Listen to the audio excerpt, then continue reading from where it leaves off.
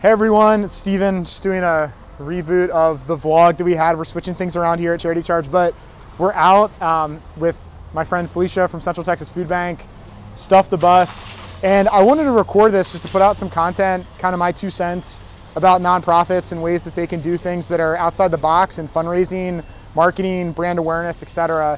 Last year, I kind of showed up in Whole Foods we had known uh, Central Texas Food Bank. We had volunteered there before, but then I saw this event. So we're back here. This is your, what, sixth year, I think? Yeah, sixth year doing it. Sixth year, and my second year being part of it. But I just think it's such an interesting way for, in this case, Central Texas Food Bank to get the word out and raise money. So what they're doing is they have these um, bags of food that they're selling at Whole Foods. I just bought one. It was $5.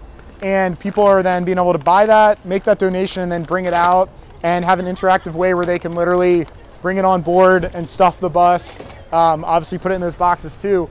But I just see so many nonprofits that are continuing to do um, really the safe things that probably aren't really ROI positive for them, whether that's just traditional galas or kind of year end asks of their donors. And so I just think this is a really cool, interactive, um, thinking outside the box, new way to fundraise. And I wanted to put that out there for anyone in the nonprofit, donor, fundraising uh, world. So thanks so much for doing what you do.